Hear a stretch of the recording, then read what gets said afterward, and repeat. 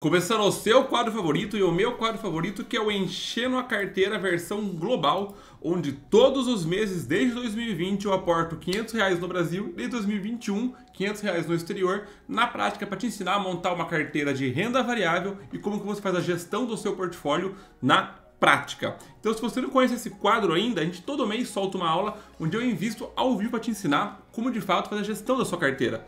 Então, quem aqui já é aluno raiz, deixa o like para ajudar o YouTube a entender que o conteúdo é bom, entregar para mais pessoas. Quem ainda chegou de paraquedas aqui, não conhece nosso canal ainda, assiste um pouco do conteúdo. Se você gostar, deixa o like e se inscreve para não perder nenhuma das nossas aulas. Legal? Então, sem mais delongas, vamos lá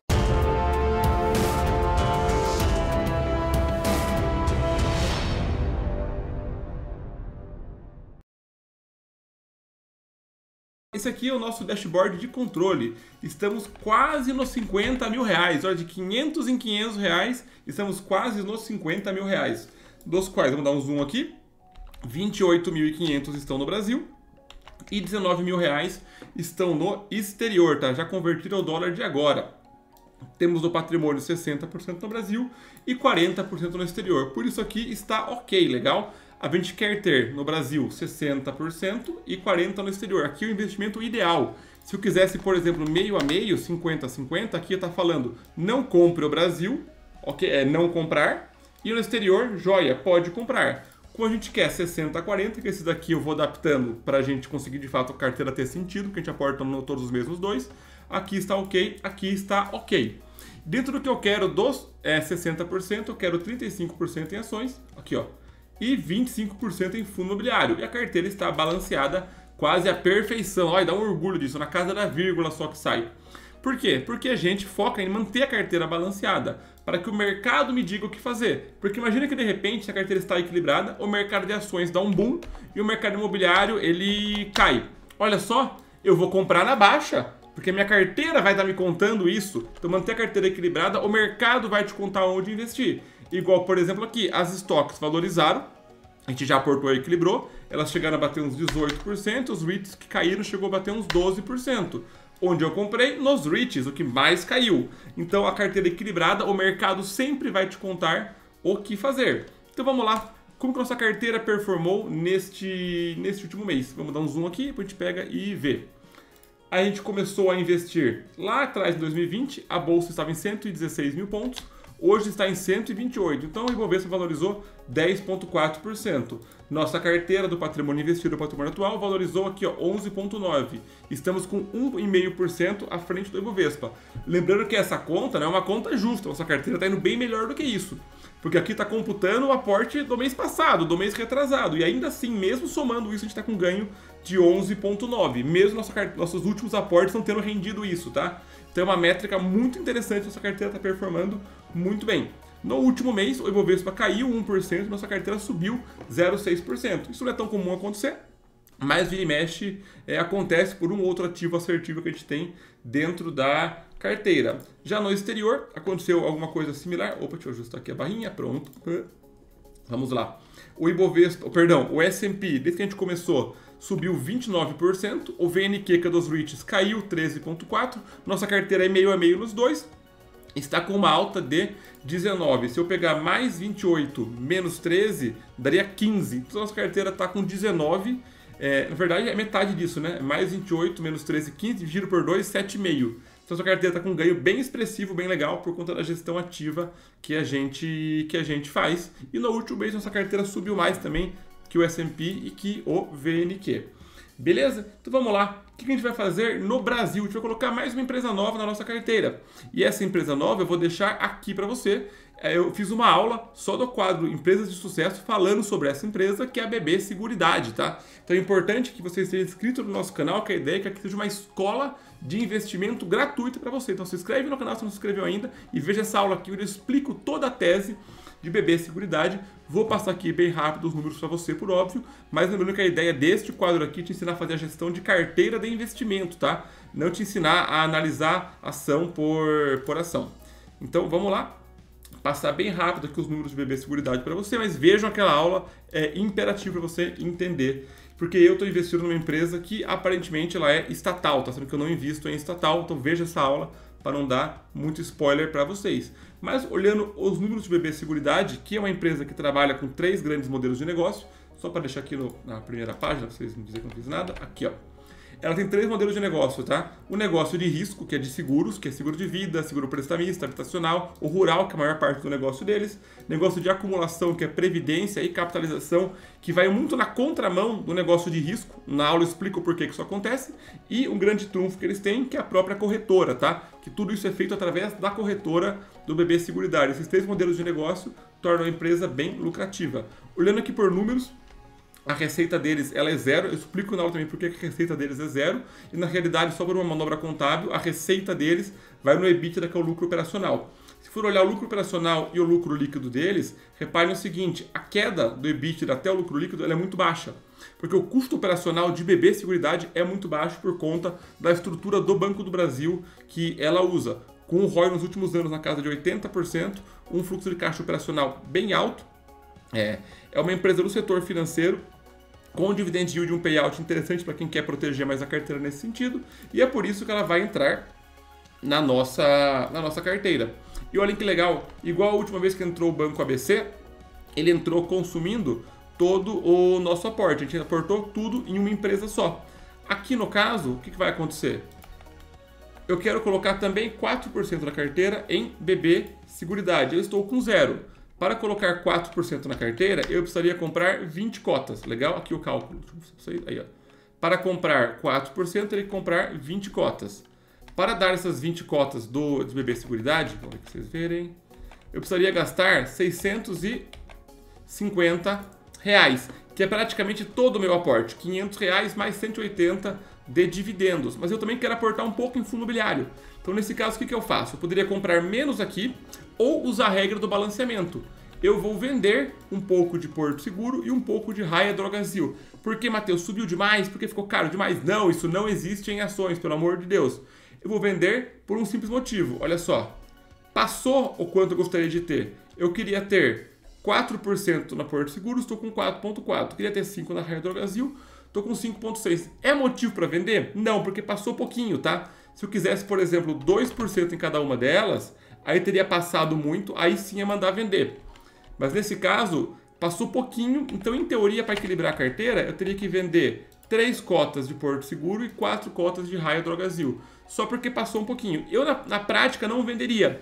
Mas como o dinheiro ele é limitado, eu quero colocar uma empresa nova e e essas duas empresas estão em ganho de 34% e 12%, eu posso muito bem vender para equilibrar, para me ajudar a comprar a empresa nova. Então eu estou vendendo parte, sempre parte de uma boa empresa no ganho, para equilibrar a carteira, não porque subiu demais, olha o raciocínio, tá? E ao vender essas duas empresas, elas vão me dar o caixa de 200 reais, beleza?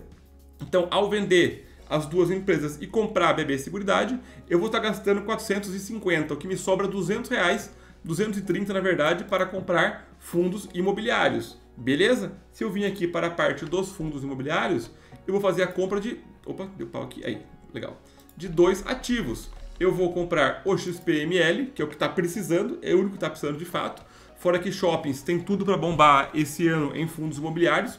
É um setor bem interessante que o dividendo vai subir com a Selic caindo porque o consumo no shopping aumenta e a correção do dividend yield, que é dividendo por preço, essa correção tende a diminuir porque o mercado vai procurar mais fundo imobiliário quando a Selic cair. Então, uma vez que a divisão tem que diminuir e o numerador está aumentando, o denominador tem que aumentar demais, tá? Mateus, não entendi isso. Pause e volta, é importante você entender isso, mas não é o foco do vídeo, tá? Só para você entender. Uma vez que o meu dividendo de cima vai aumentar e o resultado da divisão tende a diminuir porque o juro futuro está caindo, então o dividend yield do fundo imobiliário tende a cair também, uma divisão que diminui com o numerador aumentando, o denominador tem que aumentar muito mais. Mas, Matheus, eu boiei nisso. Não, fique, não se preocupe com isso, tá? A aula aqui não é de shoppings. A aula aqui é de gestão de carteira, mas de qualquer forma está mandando comprar, inclusive, o XPML. E o segundo carinha mandando comprar, faltando 0,8%, é o TRXF, tá? Dois carinhas maravilhosos que eu só posso comprar porque eu fiz o balanceamento lá. Então eu vou aumentar 100 e aqui vocês verem na tela aí. Eu vou aumentar 230 reais em fundos imobiliários, beleza? Fundo de recebível eu não vou comprar, eu vou comprar só esses dois fundos e BB Seguridade. Agora no exterior, vou fazer uma coisa bem legal, tá? No exterior, uma coisa bem bacana. Tenho 100 dólares lá, o que eu passei é ETF de REITs.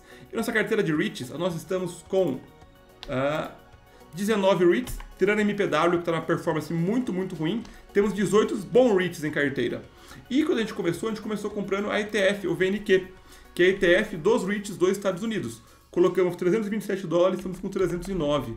Uma perda de 5% na, na carteira, bem aqui em cima da minha cabeça. O que, que eu vou fazer? Eu não quero mais a ETF, minha carteira está bem montada. E eu tenho nela 309 dólares. Então eu vou vender, eu vou baixar o VNQ inteiro, esses 300 dólares, mais os meus 100 dólares de aporte, que são os 500 reais.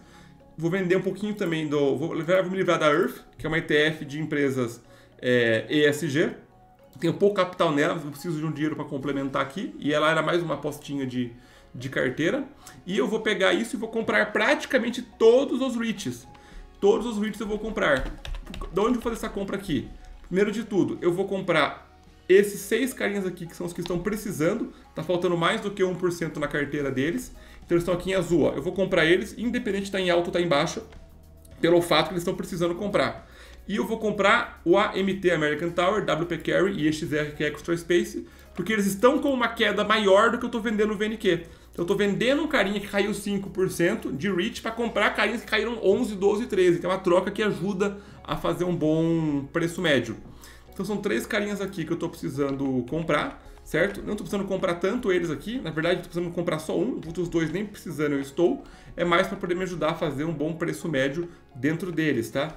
E esse restante de compra aqui, é que eu fiz um estudo antes de vir para cá, que ao comprar essa galera aqui, ó, deixa eu simular para vocês, deixa eu diminuir aqui a tela. Ao comprar esse pessoal aqui, a minha nova quantidade passa a ser essa. Então, olhem aqui a carteira que vai acontecer, ó. Deixa eu voltar para cá. Peraí, Ctrl C. Ó, pessoal, olhem aqui, tá? Ó, se eu comprar isso agora, as minhas quantidades novas vão ser essas aqui. Olha como a carteira fica quase equilibrada a carteira fica quase equilibrada. Ela está assim hoje, após esta compra de agora, ela vai ficar assim, quase tudo ok.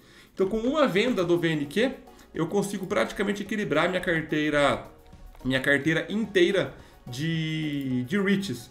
Mas, Matheus, por que, você está comprando a carteira de REITs mais do que a carteira de ações? Se for olhar essa carteira de ações, ela está andando muito bem sozinha. É uma carteira que ela está voando. Ela está com 23% de ganho, fora do nosso balanceamento. A gente tem a meta com quase 200% de ganho, Netflix 175, AMD 155, a gente tem uma empresa só com uma queda mais forte, com problema de fato, que é a sede no setor, na verdade. A Fox, que apanhou bastante também por resultado mais fraco, mas não péssimo, e não está com uma queda tão alta. E a maior parte da galera está de fato é, em ganho, o S&P está na máxima histórica, certo? Se for pegar aqui para olhar, aqui ó, vamos pegar o S&P, se for pegar o S&P, olhando aqui ó, ele está na máxima da máxima histórica continua subindo, o que me gera uma certa cautela. Já o VNQ, se a gente for olhar o VNQ, ele está muito longe da máxima histórica. E ele só está longe da máxima histórica não por conta de resultado, de 116 para 86. Se for pegar 86 por 116, é uma queda de 26%. Isso só acontece, basicamente, porque o tesouro de longo prazo, o tesouro de 10 anos, aqui vamos pegar 5 anos. Aqui, ó. Ele está num valor muito alto. Do mesmo jeito que aqui o a galera sai dos fundos imobiliários vai para renda fixa. Quando o tesouro está pagando muito, lá é a mesma coisa. E se o tesouro lá começar a pagar menos e cair, tiver o corte de juros, os REITs vão subir porque eles olham muito o dividendo deles. Então, por causa desses movimentos, a gente vai fazer a compra carregada nos REITs por conta de macroeconomia, fazer preço médio e se livrar do VNQ. Beleza? Então, vamos fazer aqui o, o aporte. Mas na realidade, excepcionalmente no quadro de hoje, tá, pessoal? Como a, a eu tô gravando esse vídeo no sábado. E semana que vem vai ser uma semana incrivelmente corrida para mim, tá? É, motivos pessoais e profissionais, eu não vou conseguir dar muita atenção, então eu resolvi gravar hoje aqui, mas na segunda-feira eu faço o, o, aporte, mas eu vou fazer logo na abertura, então os preços que a gente viu aqui vão ser executados logo às 10 da manhã. Então, excepcionalmente hoje, eu não vou mostrar para vocês o aporte de fato, mas vou seguir rigorosamente o que eu passei aqui para vocês. Beleza? Então, pessoal, preenchendo a carteira de hoje era isso. Espero que tenham gostado. Comenta aqui se você também faz o seu balanceamento e qualquer dúvida é só me chamar. Um forte abraço, até a próxima.